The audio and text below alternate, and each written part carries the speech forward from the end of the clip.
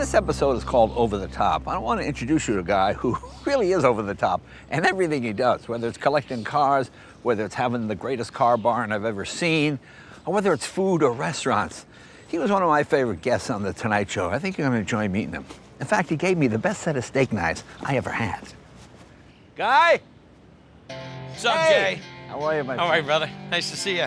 Guy Fieri is best known for his ridiculous love of food Uh ha ha ha and his flamboyant sense of style. Holla. But he's also got an over the top passion for cars. See, Guy Fieri is one of my favorites. He combined two of my passions, cars, specifically American muscle cars, and American food. He does real food, not little quail heads served on matchbook covers like when you go to San Francisco. Wheelhead. But uh, let's go inside. Let's see what you got. I'll show you on. the goods.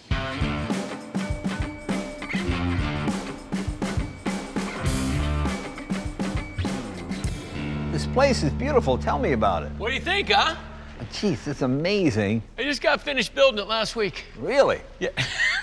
it was built in uh, 1891. Oh, is that right? Yeah. Yeah, this is one of the last of the barns of this kind in this area. But I figured this was a great place to store my, you know, to put my horsepower. Sure, I sure. figured. Why don't we start with this car over here? I just fell in love with Chevelles when I was a kid. You'd see Right. them running up and down the streets of the little town I grew up in. You'd hear all that great muscle power. I haven't seen Tiger Paw GTS tires in. Uh, how old are those tires? Are those new I, repos? I, they gotta be because I tell you something, I haven't seen them either. and this one, this is 69? Yep, I bought this on my birthday at Barrett Jackson. I'd never been to Barrett Jackson, never bought anything in an auction, and never bought anything in an auction on a phone call. You're And just did- the kind of customer and- they oh, like. I know. Don't Guy even has say no it. idea what he's doing. Don't even say it. I'll it. get on the phone. and now here we have.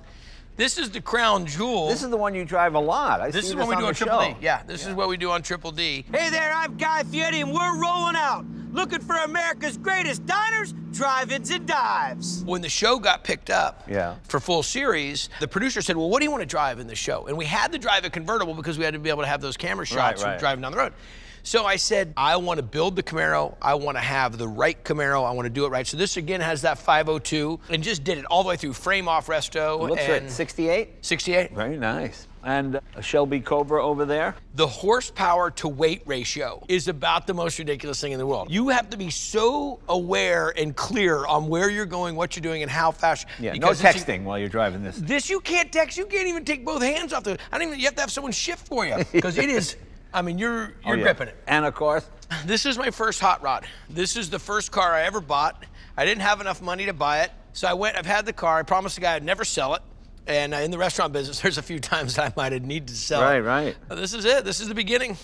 well, what are we going to drive today? Yeah, I think we should take the. This uh, is the one people The triple know, D Camaro. You know, I think we should take I think it'd out. be fun to do that one. But that way I can say I drove in that car.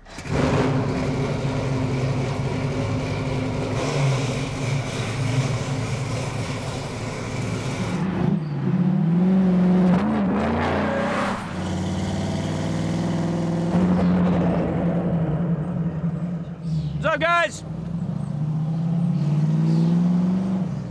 So people must really know this car now when you show up in town, right? They're looking forward to it more than they're looking forward to me. They look at the car, then they look at you, and they go, "Oh, that's that guy." Oh, it's that guy. yeah, yeah. This 68 Camaro has been through 28 seasons of diners, drive-ins, and dives. But it's not just a pretty face for the cameras. It's got a GM Performance ZZ 502 crate motor, a complete Hotchkiss suspension system, and a Tremec 5-speed manual transmission. What else would you expect from an over-the-top personality like Guy?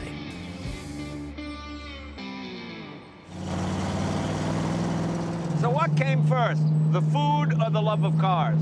Believe it or not, Jay, they were hand in hand. So you were eating in the car when it happened. But um, bum, it's worked out pretty good. You know, I've been able to achieve quite a few of the cars that I wanted. But I mean, you know, with 150 plus, you're like, oh, and you know, I want to get that one. Well, I like anything that rolls, explodes, and makes noise, basically.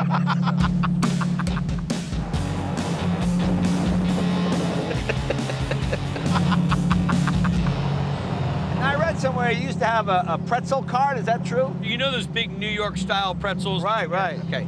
Well, in 1978 in Northern California, there was no such thing. So my dad helped me build a cart on the back of a three-wheel bike. Oh, wow. And I had this business when I was in sixth grade, and that's how I made all my money. I was always an entrepreneur, always trying to make some money, Right, always right. trying to, you know. I paid for my stuff. I paid my own way through college. You know, I, I, I had my responsibility as a family. Everybody else had lemonade stands. You had pretzels.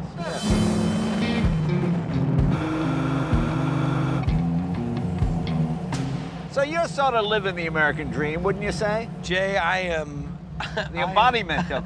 I am in it, man, and it's uh, it's a beauty because I get to do what I love, which is Right. cook, and I get to help other people with what they love to do, which is cook, and at the same time, I get to be this, uh, you know, this sideline car enthusiast. Right. Now, was ever a point where you thought it wasn't going to happen? You almost gave up? Anything like that? Because I imagine the restaurant business has got to be debilitating. I've been through the good, the bad, and the ugly. Yeah, yeah. but being raised by great parents and having that work ethic my parents would have phenomenal work ethic and my dad my dad's worked for me ever since he retired I, he came to work with me Well, that's very nice. Your dad worked his whole life.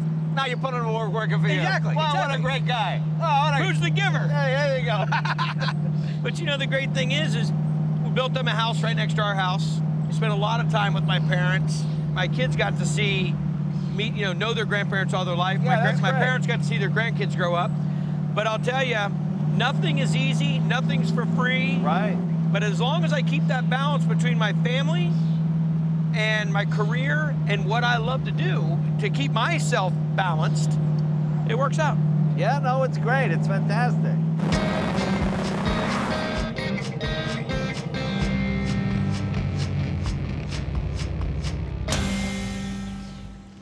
Jay, I got to tell you, that was a blast, man. But I got to be honest with you. I thought this was like over the top. I mean, this is the Triple D Camaro, but Well, you got something else that's more over the top than this? do you have a second?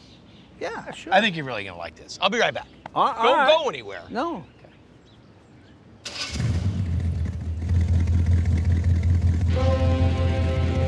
It's called the Express Lane.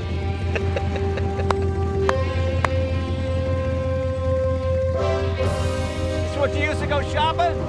All these restaurants, I got to be able to fill it up with groceries. Well, take me for a ride. Let's do it. Let's go shopping.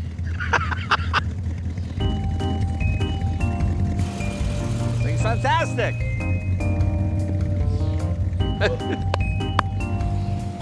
this is definitely over the top. Watch out, we might hit the top. That's right. It's the only way to shop. On dollar days, we own it. Yeah.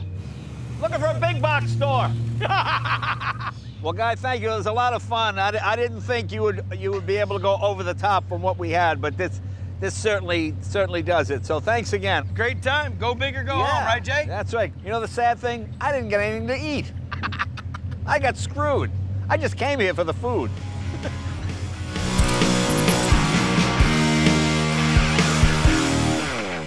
Hey CNBC fans, thanks for checking out our YouTube channel. Here you'll find videos from all your favorite CNBC shows. Be sure to subscribe by clicking right here.